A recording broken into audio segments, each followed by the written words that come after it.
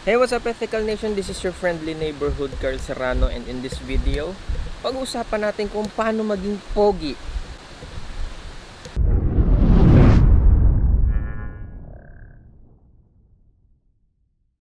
And before tayo mag-proceed sa video na ito, ang gusto ko na gawin mo ay tapusin mo tong video na to hanggang dulo para makuha mo lahat ng lessons.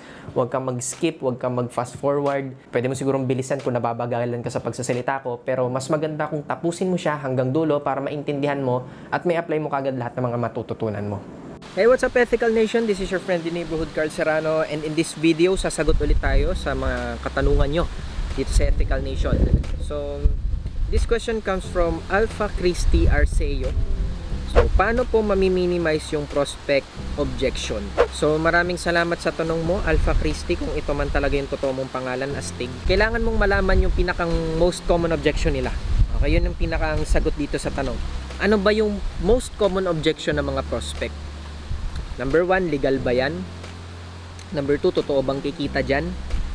Number three, mapapagkatiwalaan ba kita? yun, yun yung top 3 na most common objection na nasa isip nila na hindi nila madalas hindi nila tinatanong or hindi sila aware. Hindi sila aware na tanong nila yon na objection nila yon so kapag nasagot mo ng maayos yon in your presentation doon mo sila mapapasali. Hindi man on the spot pero doon mo sila mapapasali. Kasi ako hindi ako fan ng on the spot pay in ayoko nang ganoon kasi usually mga on the spot nagpe-pay in on the spot nawawala yan. So anong sense? Nagka-commission ka lang 'di ba? Hindi long term.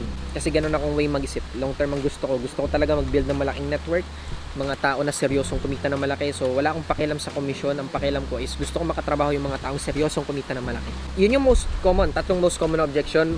Una, ulitin ko, legal ba yan? Totoo bang kikita ako? At mapapagkatiwalaan ba kita?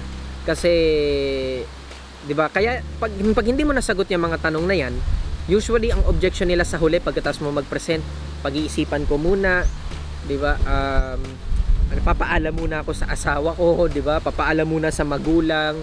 Ano pa ba? Uh, wala akong pera, 'di ba? Yan yung yan yung mga magiging objection nila sa huli kapag hindi mo nasagot ng tama yung tatlo na yon. So, meron akong ginawa na intensive course regarding dyan. So, kung paano mo sasagutin exactly kung ano yung uh, kung ano yung sagot do sa mga most common objection na yun ay magbibigay ako sa inyo ng isa which is yung legal legal ba yan yung number one ang pinakamagandang way para makapag, makasagot ka ng objection is sagutin mo na siya bago pa itanong much powerful yun kaysa sinagot mo siya after niyang itanong kaya nga sinabi ko sa inyo yung top 3 'di ba? So later on i-share ko sa inyo yung course ha doon sa tinutukoy ko na course. Pero bigay ko muna sa inyo yung one, legal ba 'yan? Ang pinakang una na para mo masagot ito ng maayos, syempre pakita mo sa kanila yung legalities mo. Napaka simple lang naman eh. Pakita mo lang yung legalities mo, pakita mo lang na ganito. Tapos i-educate mo siya ng konti regarding sa difference ng networking scam at saka legal na network marketing business. So ano ba yung difference ng dalawa? Uh, syempre, first of all, ang legal na network marketing business, according sa batas ng Pilipinas sa SEC, is network marketing business na merong kapalit na produkto na high, hindi basta-basta produkto, high quality products at tama yung presyo. So ibig sabihin hindi overpriced kasi meron akong alam na network marketing companies na overpriced masyado yung products nila. So hindi talaga allowed 'yon pagdating kay SEC. Now, speaking of that, merong quality na products kasi yun yung magiging kapalit nung magiging puhunan nila, capital nila. Hindi siya investment eh. Ang investment kasi usually ibig sabihin ng investment is magi invest ka lang doon, wala ka talagang gagawin. 'Di ba? Like uh, stock market, ganun, magi invest ka lang doon. Uh, like uh, real estate, bibili ka ng ano, bibili ka ng ng property, that is a form of investment. Tapos yung property na yun or halimbawa lupa, 'di ba? Hayaan mo lang siya mag-appreciate yung value. Tapos pagka dumating na yung time na nakuha mo na yung price na gusto mo, 'di ba? Tsaka mo siya ibebenta. So pa parang ganun. Yun yung investment. Tinatanim mo lang talaga yung pera. Eh negosyo natin hindi investment. Kaya wag niyo tawagin na investment kasi hindi investment ang network marketing. Nangangapital ka. 'Di ba? Nangangapital ka kasi tatrabahuhin mo. 'Di ba? Tatrabahuhin mo siya, bibuild ka ng organization, magbibuild ka ng network of uh, user, seller and builders or network builders, magbibuild ka ng mga ganong na tao. Tapos in the long run, kapag ka na-build mo na ng maayos 'yon, eh di pwede ka ng para para ka ng investor nun ang dating. Kasi kung nagre-reap ka na lang ng income na wala ka nang ginagawa or tinatawag na residual income. Pero ang ginagawa kasi ng mga scammer tinatanggal nila yung part na work. Di ba? Sa network marketing tinatanggal tinatanggal nila yung part na work. Kasi nga desperado ang mga tao especially mga Pinoy desperado na kumita lang na walang ginagawa tamad hindi marunong. Tapos kung kung ano yung legal na network marketing which is tatrabahuhin mo sisikapin mo mare-reject ka magfe-fail ka ng maraming beses yun yung scam sa paningin nila. Tapos kung alin yung wala kang gagawin mag-invest ka lang walang kapalit na product kikita ko yun yung legal para sa kanila. So ang basehan kasi ng mga Pinoy ng legal at hindi legal ang legal kikita ka. Tapos ang illegal hindi ka kikita laking kalokohan. 'di ba? Kasi sa legal na network marketing hindi ka talaga agad kikita eh. Depende kasi sa trabaho mo eh.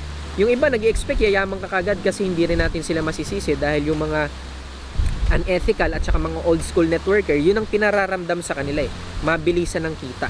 Kinikita ko to weekly, power, payaman ba? Payaman? Kaya yun ang yun talaga yung naisip nila, ah mabilis lang kumita dito which is hindi naman talaga totoo. So hindi nila completely kasalanan kung bakit ang mga Pinoy ignorante pagdating diyan. Na so pagpasok nila sa network marketing, ina-expect nila nakikita agad sila kasi yun yung pinaramdam nung nag- nung speaker.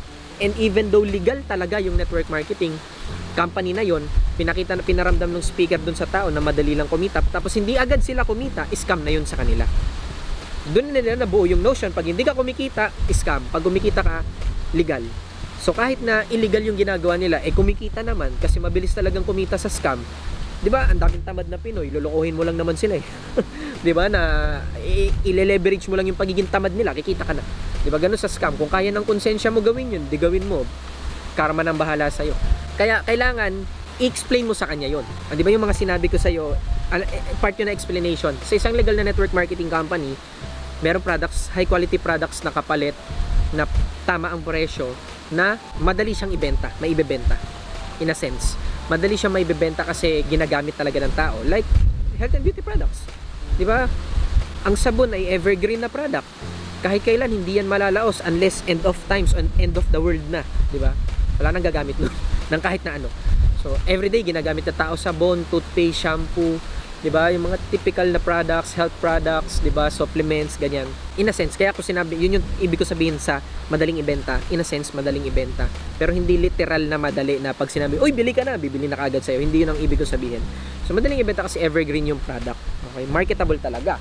So, yun yung kapalit kasi nung kapital, no, ibabayad mo para ka lang para ka nagtayo ng sari-sari store, bumili ka ng paninda para maibenta mo. Yun na yun. 'Di ba? Yun ang pinaka-explanation inventory. Initial inventory. 'Di ba? Yun ang legal na network marketing company. Ang illegal, magbabayad ka lang, wala kang gagawin, kikita ka, papangakuhan ka ng malaking returns in a couple of ano days kasi even though even stock market which is legit, 'di ba? Stock market malalaking negosyo, hindi nangangako ng return na ganito kalaki in a specific time frame legit yung mga yon at malalaking negosyo yung mga yon multi-million, multi-billion peso na companies tapos biglang may papasok na company na hindi kilala tapos papangakuan ka ng specific return doon na pumapasok si Ponzi scheme so si Ponzi scheme is yung ang way lang para kumita ka is mag-recruit ka kaya yung ibang mga network marketing companies rin hindi rin natin masisi na ah, napapagkamalang scam kasi puro recruiting lang yung ginagawa. Even though may quality product, hindi nila minumove or hindi nila pina-priority. Meron pa nga mga network marketing companies na dinidiscourage nila yung mga members na magbenta. Huwag ka magbenta kasi di ka kita ng malaki dyan, mag-recruit ka lang. Napakalaking kalokohan nun kasi yun ang pinakang unang purpose ng network marketing is to sell. Tanggalin yung middleman. Mapamura yung products from from company to consumer. 'Di ba? Si, si distributor na yung taga-market. Kaya yung products nagmatch nas, nagmura. Kasi hindi na kailangan ng mga artista to, to promote. Nababayaran nila yung artista ng malaki to promote. Kaya yung ibang mga products talagang mahal yung presyo kasi binabawi nila sa presyo yung marketing na ginastos nila. So ang ginawa ni network marketing instead na magbayad tayo sa mga ganyan, gawin na lang natin na commission based tapos open sa lahat. Magbibili yung bibili si consumer ng product, gusto niya maka-discount, mag-member siya, pwede na rin niyang ibenta yung product in a discounted price. So from ano, from from company to independent distributors na hindi nila binabayaran directly, hindi nila pinasahuran commission based to consumer. mas nakatipid sila doon. So, mas napapamura nila yung products. Kaya ako sinabi kanina, di ba, required din na yung products is hindi overpriced. Tama yung presyo. Di ba? So, yun ang pinakang original na network marketing. Na discover na lang later on ng mga networkers na mas malaki yung income at nagkakaroon talaga ng residual income kapag nagbi-build ng network. Diba? Nagre-recruit ng maraming tao which is maganda naman talaga yun at tama lang naman talaga yun. Nagiging pangit na lang siya pag puro recruiting na lang hindi na nagmo-move ng products. Kaya ang daming network marketers, gutom. Kabilang sa malalaki at sikat na company, mga power payaman, best in the universe na company, gutom. Diba? Gutom, baon sa utang, mas malaking ginagastos kaysa kinikita. Di ba? Stress na stress, pagod, pero walang kinikita. Dahil doon, puro recruiting, hindi na nagmo-move ng products. Uh, dinidiscourage sila, usually dinidiscourage ng upline na mag-move ng product si member kasi maliit yung kikitain. Yung upfront commission sa Unilevel, maliit kumpara sa upfront commission pag direct referral, binary, di ba, pairing, mas maliit yung Unilevel. Pero yung Unilevel, yun talaga nagbibigay ng long term residual income. Yung binary may limit yan eh, kasi may flash out. Di ba? Unilevel wala. So, yan yung nakalimutan na ng ano ng uh, tawag dito ng mga network marketers sa panahon ngayon kasi nga binago yung kultura nung simula. And hindi ko naman sinabing completely maling-mali yun. Nagiging mali na nga lang siya, ulitin ko, kapag pure recruiting na lang. Wala nang benta. So, by the way, speaking of this, shout out kay uh, Mr. Beyond Networking Marco Malyari kasi isa rin to sa mga natutunan ko sa kanya. So, bigyan ko lang siya ng credit dito sa video na ito. So, maganda i-follow nyo rin siya kasi isa rin siya sa mga ethical networker dito sa Pilipinas. So, yan. Speaking of that, ipaliwanag ko sa kanya. Diba? Yung ganun. Uh, gawin mo as much as possible. Una, syempre, kailangan aralin mo yung mga pinagsasabi mo para naintindihan mo. And ikalawa, as much as possible, keep it, keep it short and simple. Uh, kasi kapag naintindihan mo na yung bagay na yon, kasi ito mahabang, pwedeng mahabang discussion to.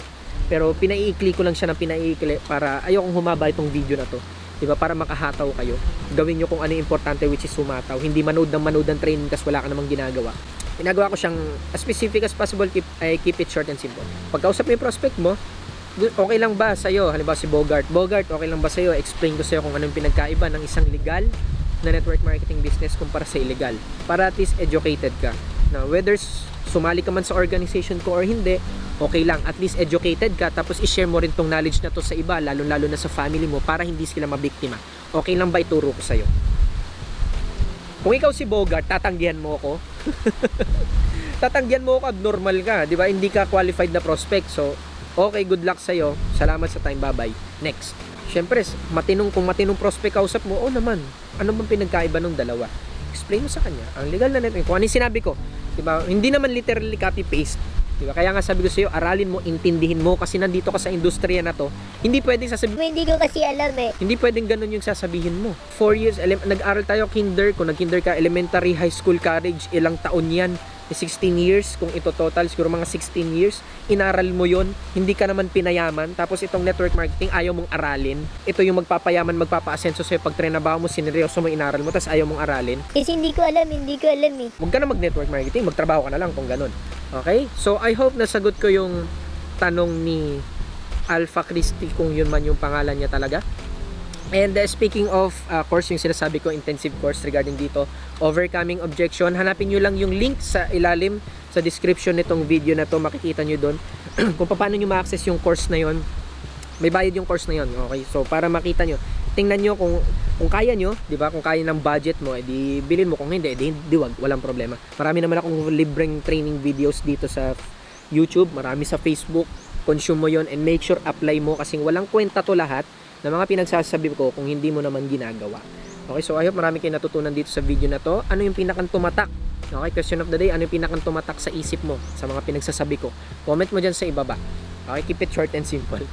Comment mo dyan sa ibaba. Kung meron kayong mga katanungan, katulad ni na Alpha Christie, di ba? Meron rin kayong mga katanungan, tanong nyo dyan sa ilalim, lagyan nyo lang ng hashtag, itanong mo kay Serrano para alam ko, nagagawan ko siya ng video. Kung yan ay tanong na wala pa akong video na nagagawa regarding dyan, so gagawan ko ng video. Pero pag nagawan ko na siya ng video before, hindi ko na sasagutin ulit yan. Kasi magpapaulit-ulit tayo. Okay? Siguro ibibigay ko na lang sa iyo yung link sa sagot sa, sa tanong mo na yan. Kung sakali man na ano, mayroon ka mga kakilala na alam mo matutulungan nitong video na to, i-share mo to sa kanila para matulungan rin sila nitong video na to. Yung katulad ng tanong ni Christine na paano ma-minimize yung objection ng prospect and at the same time, kung na marami ka natutunan, like mo to para magpakita ng support dito sa mga videos na ginagawa ko kasi paggawa ko nito libre lang naman. Okay, libre. Hindi nyo naman ako binabayaran para gumawa nito. So, simpleng pag-like, malaking support na yun. Simpleng pag-comment, pag-share, malaking support na yun. Okay, kahit isang tao ka lang na nag-share, malaking bagay na yun sa akin. So, once again, this is your friendly neighborhood Carl Serrano. Live, love, and learn. You are born for greatness. So, see you next time. What's up? Maraming maraming salamat sa panonood mo ng mga videos ko. I hope marami kang natututunan, nakapagbigay ito sa'yo ng value. Subscribe ka dito sa channel na to para pakita mo yung support dito sa ating movement which is Ethical Nation. And click mo rin yung notification bell dyan sa baba para ma-notify ka sa tuwing meron ako mga bagong videos na i-upload kasi nagpo-post ako ng videos regularly dito sa channel na ito. So subscribe ka dyan, maging part ka ng Ethical Nation, suportahan natin yung movement para mas malalo pang dumami yung mga ethical networkers dito sa Pilipinas at maging maganda yung profesyon natin dito sa buong Pilipinas. So once again, subscribe ka dyan sa baba. See you!